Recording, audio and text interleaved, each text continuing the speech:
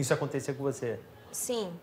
Uma coisa importante de, de pontuar e que se repete em muitos casos é como eles colocava como responsável pelas nossas carreiras, por estarmos lá dentro, por viabilizar o projeto. E, e, como a gente, muitas de nós não se conversava, a gente foi entender quando a gente foi saber dessas histórias depois. Então, um padrão que se repetia, tipo no meu caso, eu não conhecia, nunca fui apresentada a ele. Eu fui assistir ele num espetáculo e do palco ele me reconheceu e fez todo um discurso e eu falei, caraca, esse cara que representa, quando eu comentei com um amigo meu à época, eu não estava contratado, isso deve ter sido 2013, 2014 no máximo.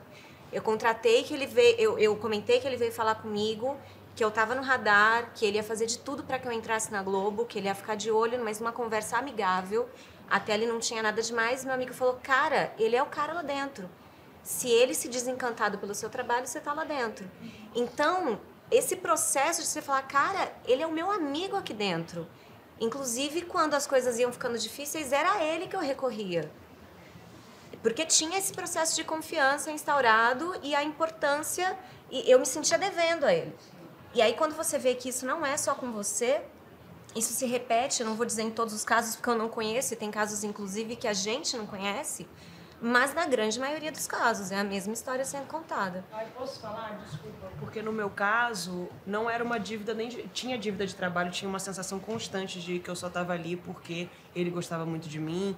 A, a, a, coisa repetida era tipo assim, de um, de um outro amigo dele que ele falava, e ele sempre contava essa história para mim. É, ele é tão legal, podia ter talento. Então era como se eu fosse destalentada, é isso. Esqueceu, esqueceu de dar meu crédito do fora de hora quando foi apresentar o programa e tal. Mas a minha dívida com ele foi porque eu fiquei doente e eu tive que ser internada. E aí, eu, até então, ele, que era o meu chefe assediador, foi uma pessoa incrível comigo, entendeu? Foi, me arrumou um médico para me internar, que eu não tinha até então. Chegou lá no hospital, brotou no hospital e, e começou, sabe? E, e, aí eu fiquei, a partir disso, com essa sensação de dívida por uma situação é, de saúde. E eu desconstruí na minha cabeça a coisa do chefe, porque a partir desse momento ele se disse meu amigo e ele falava muito, e eu também. É, ele falava muito isso pra mim, que é toda vez que eu me referia a ele como meu chefe, ele falava: Nossa, quando que eu tive um downgrade de amigo para chefe?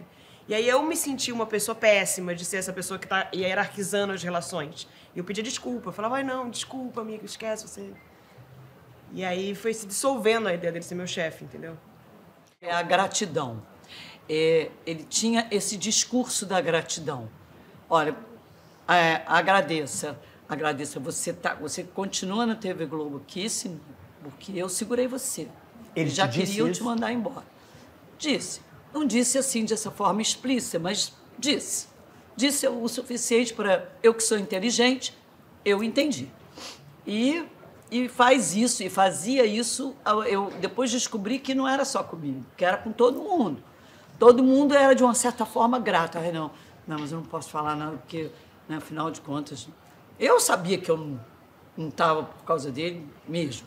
Eu sabia que uma hora eu ia ter que sair, até pela minha idade mesmo, uma coisa normal, natural. Entendeu? Uma, no meu caso, veio mais como uma ameaça mesmo. É. Como foi? Essa fala não veio em tom. A, a fala em que eu sentia que eu devia para ele foi a, a, a minha entrada.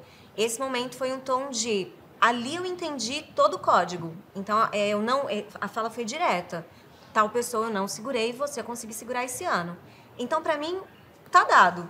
Então, enquanto se você mudar de comportamento, se você não aceitar o jogo, você não continua aqui. Ele gritava no ambiente? Como é que ele fazia não. essas ameaças? Que tipo de recurso ele não, usava tudo... para que as pessoas entendam que por que, que é turvo a linha? a geração do amor, a, né, o estúdio do amor. Ele nunca levantou a voz, ele não tem não, essa energia não, agressiva. E isso é muito, é o que confunde muito, porque é num outro lugar, entendeu? O Márcio é meu amigo desde 1991. Era meu amigo, desculpa eu.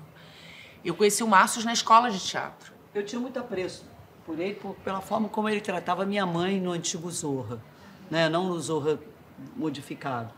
Mas ele fazia isso. E aí depois ele veio com, ó, oh, vou te dar para você fazer a sua mãe na escolinha. Eu não queria fazer. Se eu quisesse trabalhar de atriz, eu tive vários convites, eu não queria. Mas, é, é, de uma certa forma, aí de novo eu me sentia grata. Sabe, aquela coisa de gratidão. né? Isso é, esse, esse era um, um, uma coisa recorrente na atitude dele. Tudo dele, você, ó, fiz o seu projeto ser aprovado, você, vou, segurei você na Globo, ó, mas seguinte, você vai sair, mas ano que vem você volta, porque eu já pedi.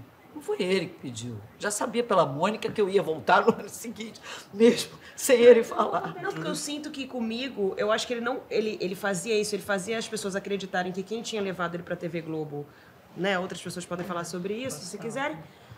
Mas ele, ele fazia. Você falou também de um outro ator da escolinha, que ele contou pra esse ator que tinha sido ele, na verdade tinha sido você que tinha chamado ele.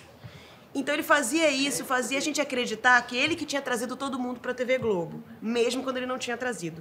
No meu caso especificamente, o Mauro já tinha me chamado para fazer aquele outro programa, como era o nome? Dos meninos que tinham Porchat, que tinha umas sketches. Não tô lembrando. Exagerado? Não, não. Junto Junto misturado. misturado. O Mauro, o Mauro já tinha me chamado para fazer o Junto Misturado porque ele tinha me visto fazer stand-up. Então a gente se falou.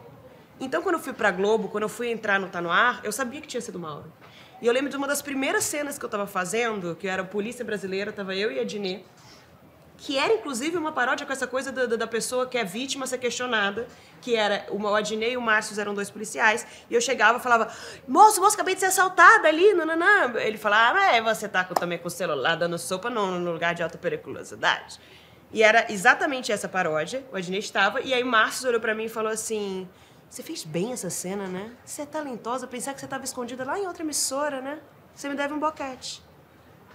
Aí eu virei pra ele e falei assim: desculpa, senhor, esse boquete pertence a Mauro Farias. e, aí, e aí isso virou uma piada entre a gente. O Mauro falou: gente, vou ganhar um boquete, nem tava sabendo. Depois a gente falou: eu falei, então, eu já paguei mais subido de 50 reais, é ele que vai fazer, tá, senhor? Não sou eu, mas você vai ganhar. E era uma piada e, Ma- e o Mauro não tem nenhuma coisa de assédio sexual. Então tem um ambiente que era de brincadeira, de tudo, mas o assédio sexual é diferente da brincadeira. É diferente.